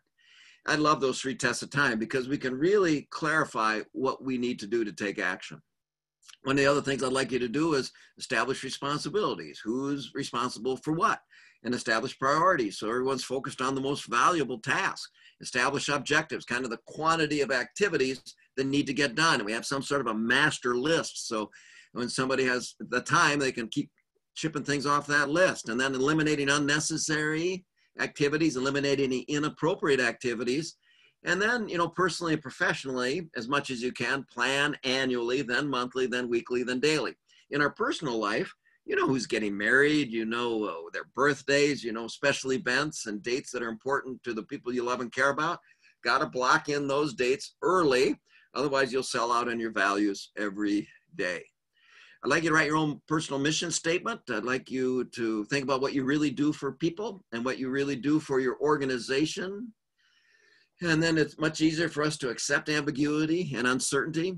But if we really think about what do I do for people and what do I do for organizations, it really gives us the opportunity to think about what's the best use of my time. And usually it comes down to doing one thing that's the most urgent. If we don't get that done, we're going to get yelled at or there'll be a penalty, there'll be a fine, there'll be a complaint. And the second is what's most important values clarification, empowerment, training, relationship building, planning, prevention, those sort of things. Prioritize two tasks at a time. When you get those done, you can pat yourself on the back, say, Good job, Welchie. Now, what's most urgent, most important? And then if somebody has uh, something that they bring to your attention that is urgent and important, you can say to them, you know, I have these two tasks that I'm finishing. I would be available to focus on that at 1:30. And so you have some flexibility. The thing that really is a benefit to prioritizing only two tasks at a time is that you feel like a winner all day. If you have a, you know, if you put down everything that you feel like you need to get done today, you might have 75 things to do today. And if you only get six of those done, you feel like kind of a loser. But if you only prioritize two tasks at a time, you get those two done. Say, good job, Welchie. Next to good job, Welchie. Next to, you feel like a winner all day because you did what was most valuable. And if you balance it, one urgent, one important, the things that would have been a crisis later aren't because you already invested the time and effort, you know, when you did it in advance and you're planning. So I just love two at a time. You feel great all day long. Uh, behave like you're a consultant and make suggestions. Act like you're in business for yourself. If you could call all the shots, if you were the boss and that ultimate control, what would you do differently with meetings and information sharing and activities and events and technology and uh, underutilized equipment, underutilized assets and volunteers. But if you could, you know, have control of all of those variables, what, what would you do? Well, then what would you suggest? And how are you going to pursue those ideas? I came across a study one time that claimed that 97% of the population can think at a genius level at different times of their lives. You have truly genius thoughts. The key is to capture those and share those. It might not be the idea we need right now, but it might be exactly what we need a week from now or a month from now. So you got to make sure you get those ideas out. I'd like you to continue your education. We know the more you learn, the more you earn. Couldn't care less about that. I'm just amazed the difference a good book makes in our decision making. But be creative about it. Think about what you could watch on YouTube, or there's some online resources or newsletters, or form a mastermind group, or a personal board of directors that can give you feedback, or think look at the arts or different types of literature or find some role models that have been able to kind of balance their personal professional lives and continue their education. Ask them how they did it you know take them out for a nice lunch or a few cups of coffee to figure out how you can explain this or communicate this to your to your family members. I think broadly consider the big picture hold yourself personally accountable for outcomes. I'd like you to get some mentors I'd like you to do it three ways Uh, one way is just based upon age somebody that's significantly older than you and somebody that's significantly younger than you. The older person can provide sage advice and wisdom. What's a big deal? Not a big deal. Young person has command of the latest technology and can kind of mentor up. Then someone inside your organization you know and trust, someone outside your organization you know and trust to get feedback from them. And then someone that's a winner and somebody that's a loser that person that's a winner, whatever they're reading, get a copy of it. Whatever they're doing, ask if you can be part of it. Whatever you're thinking, consider that. Now, this person that's struggling, whatever they're reading, take that away and give them something else to read. Whatever they're doing, stop them. Whatever they're thinking, have them reconsider. But become the mentor for someone else and to be able to really be a role model for them. Also, I'd like you to be visible uh, to always be in the line of sight. Whenever there's a meeting, attend it. When there's a discussion, be part of it. But you want to make sure, especially when you're working remotely, that you're not lost, that you want to make sure that people see you and find you, uh, you know, they see things happening, they see you. They see things, you know, they see things happening. Then when they see you, they expect things to happen. What a great reputation that would be. And number eight, of course, is how do you uniquely add value? Make sure you contribute more than you cost. If you're going to get paid for performance, would you get a bonus or a bill?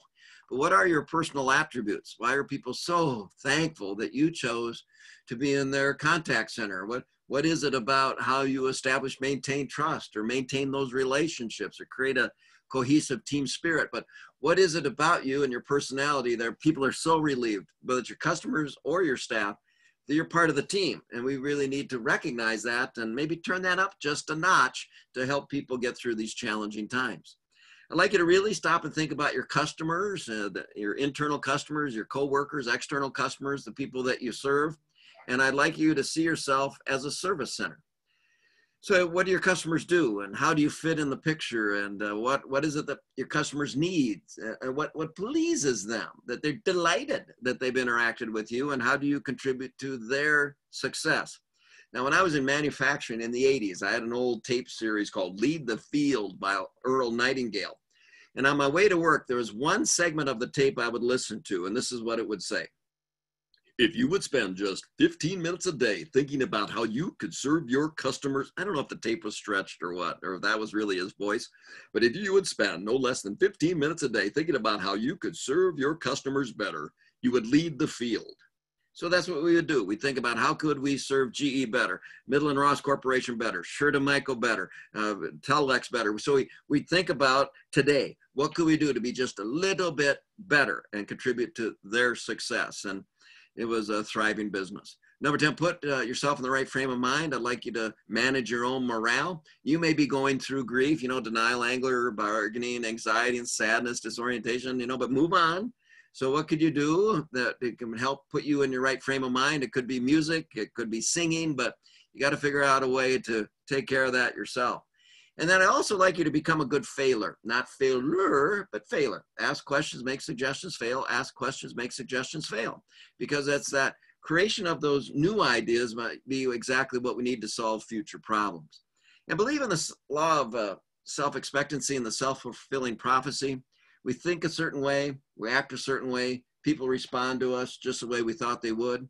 So if you think the next couple of months are going to be challenging, well, they will be for you. If you think they're going to be exciting, you're right, they will be for you. And I think if we start out with an attitude of gratitude, that we're so lucky to be working with the organization we are, to be part of this association that is helpful and supportive. I mean, we have so many resources available to us now that we didn't have when we first took the job. Remember how excited you were when you took the job on the first day?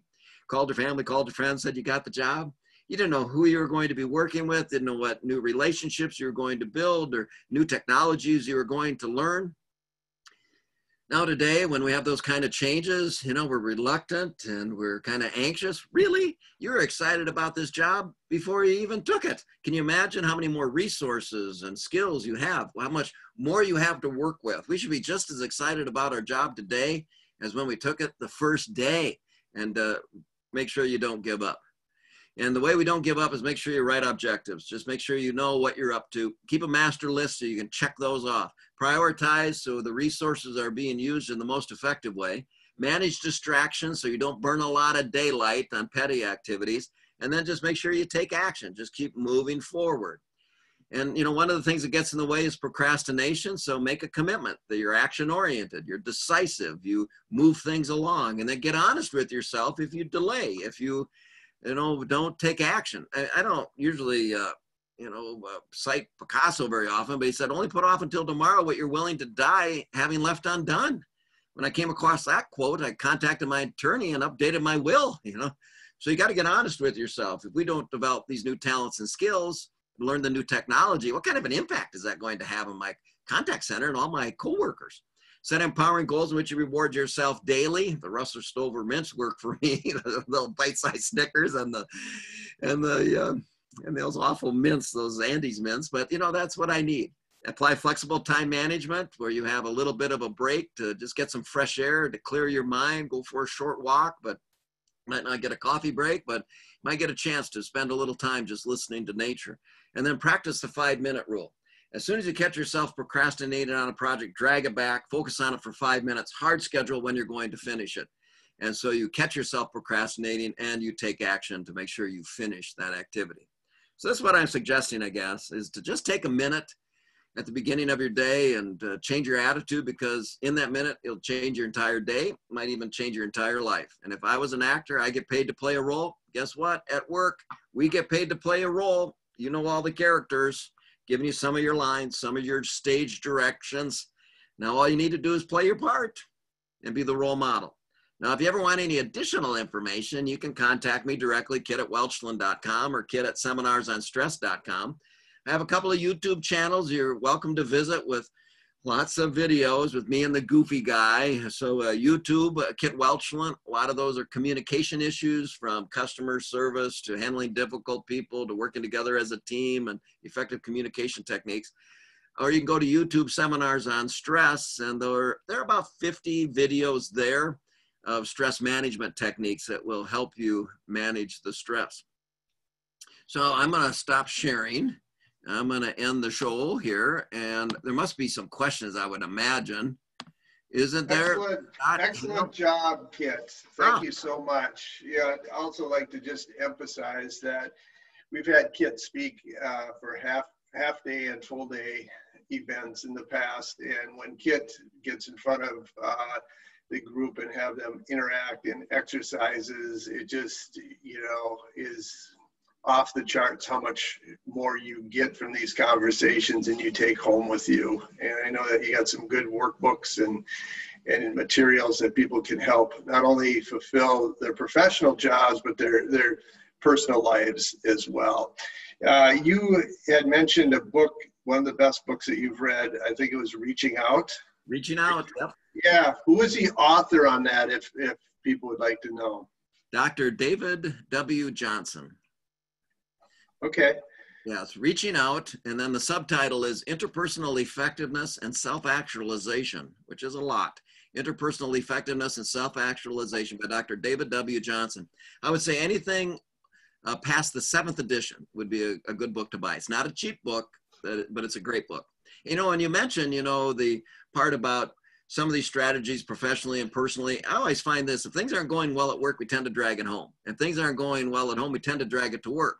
But now with the pandemic, for many of us, we're in the same place. So we are right there on the front lines, you know, whether it's with our kids or our significant other and sharing space and sharing technology. And my goodness, you know, you don't get that little break, you know, at the commuting time. And, you know, some people crave that, you know, they don't have to commute. And some people are, you know, kind of like that time to idle down on their way back. And you know, in your own personality, whether you're an introvert or extrovert, or you need that kind of a social interaction that may be, you know, missing, you know, anything we can do with the technology to get those one-on-ones or to get those groups together makes a big difference so people don't feel isolated and all alone. Do you have any tips for supervisors and managers to help facilitate those conversations when they're not face to face, they're remote?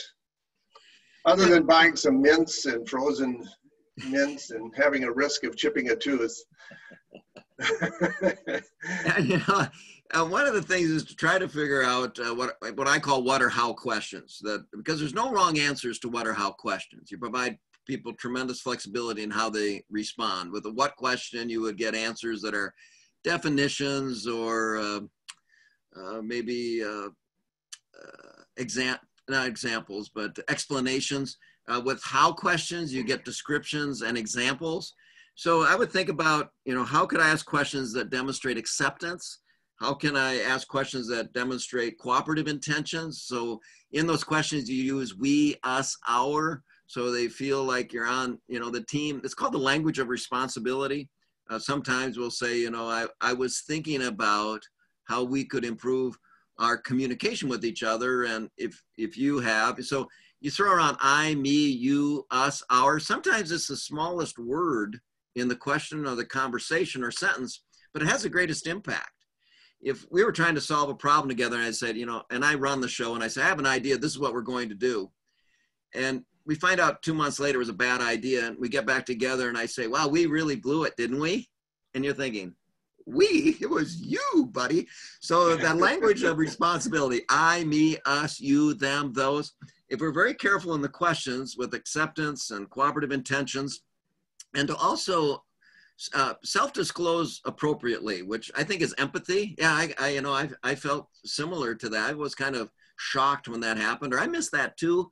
So really, when people do respond, to make sure it's always supportive communication environment by blending with their emotion, whether it's frustration, disappointment, concern, you know, or sad or whatever it might be.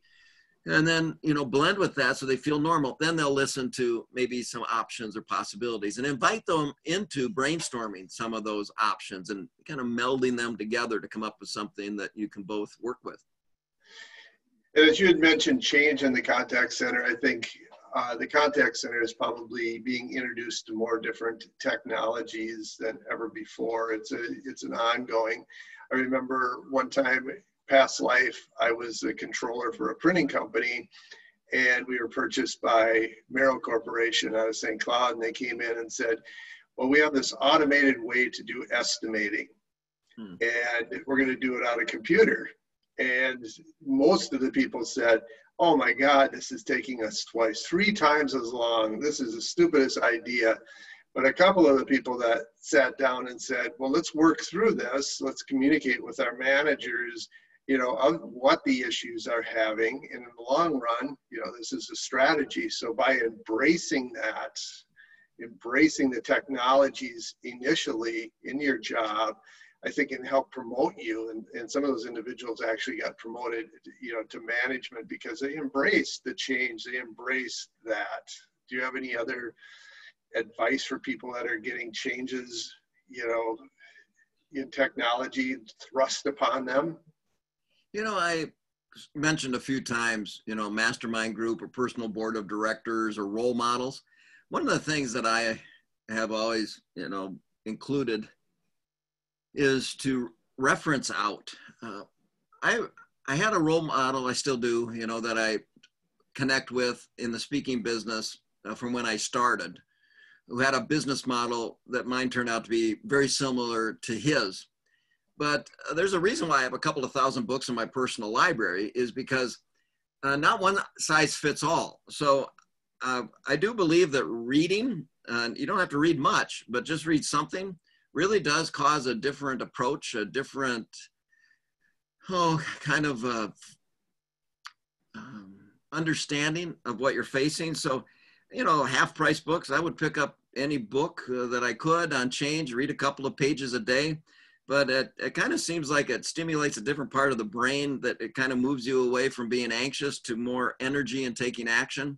So I'm a big proponent of reading and that we should incorporate that. You know, one of the things that came up uh, with a client of mine last week was recalibrating our uh, work and life balance. And, you know, we identified there's about seven different areas of your life, you know, whether it's uh, exercise or uh, your social life with uh, fam- friend, family life or financial life or and uh, I said, you know, one of the things I do is I, when I'm kind of struggling, I'll just pick out seven different areas within my home and I'll just spend five minutes a day, you know, thinking about or reading about those different things. But I change the environment and I change what I'm doing there.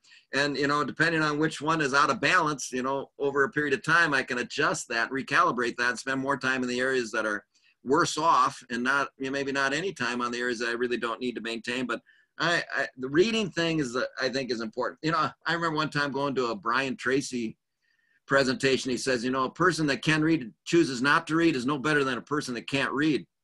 And uh, it's always stuck in the back of my head. You know, I have the ability to read and interpret and take down notes, and it's a working library. I can access that information and get unstuck. Take personal responsibility for that because uh, everybody else is struggling too. Everybody else is dealing with the change. And if you're relying on a manager or supervisor that's also going through transition to be accurate in their interpretation or perspective, well, that, that may not be the case. Yeah, I've also found, and see if you agree, you know, some of the thought leaders like Simon Sinek. I don't know if you've ever saw Simon Sinek, a thought leader, and one of the things that he brought up recently was, you know, a sales manager, and this could be any manager, comes to their employee kit and says, hmm, you know, kit, you didn't make your numbers first quarter, second quarter. I don't know what's going to happen third quarter and contrast that with the manager that comes to Kit and says, you know, Kit, you didn't make your numbers for second quarter. What's going on in your life? You know, are there some things happening and, and is there anything that I can help you with? You know, contrasting a great leader to someone, you know, using the old tactics of pressure and, ah, you might be out of here if you don't accomplish this. Yeah, yeah. My uh, my presentation on leadership, I always say leadership is not just positional; it's personal. Uh, you need to know people before you can help them get from where they are to where they would like to be or need to be. And you know, it's their responsibility, of course. But sometimes, you know, uh, people might be intimidated by your title. One of the things I've noticed is a barrier that has been somewhat removed for some people is when we do meet on Zoom, how um, much more uh, casual or comfortable people are to have a more you know, uh, spicy conversations in a way, but uh, they're not as intimidated by the title or the office or the desk or the, you know, the environment. And so sometimes we'll have more open and honest conversations because of the technology. And then again, some people are intimidated by it and won't participate, but you know, you got to just kind of, you know, situational leadership, you know, are they competent and confident and a little bit more that we need to provide some training or a little bit more support for them emotionally. And sometimes both, sometimes neither, one or the other. But yeah, we kind of have to be flexible. It's kind of like herding cats, you know, and making sure that everybody is, is in, in a good place personally and professionally. I agree. Yep, it's always the cats that get picked on, isn't it? Cats. Hale, well, I don't know if we, we have any other questions from anyone. Uh, no, today. I think that uh, you know, as usual, when uh, when Kit's speaking, it's a it's a bit like uh, drinking out of the fire hose. Um, so uh, I think the main thing to remember is that uh, you can review uh, this presentation again. And, you know, Kit's read all these books and he distills all of that information. Uh, and so every slide is like, what was that? Oh, boom, boom, boom. Oh, wait, I need to, I, I need to look at that again. So uh, we want to make sure that uh, everybody has that available to them. And um, Kit, you know, thank thank you so much for uh, for your presentation today. We always love having you. Um, and if anybody has any questions, uh, please uh, raise your hand. And, but we will send out that link uh, soon to everybody. So. Okay, great. Thank you. It's always a pleasure working with all of you. Thank you. Everyone have a great day. Yeah. Thanks for joining us, folks. We'll see you next time.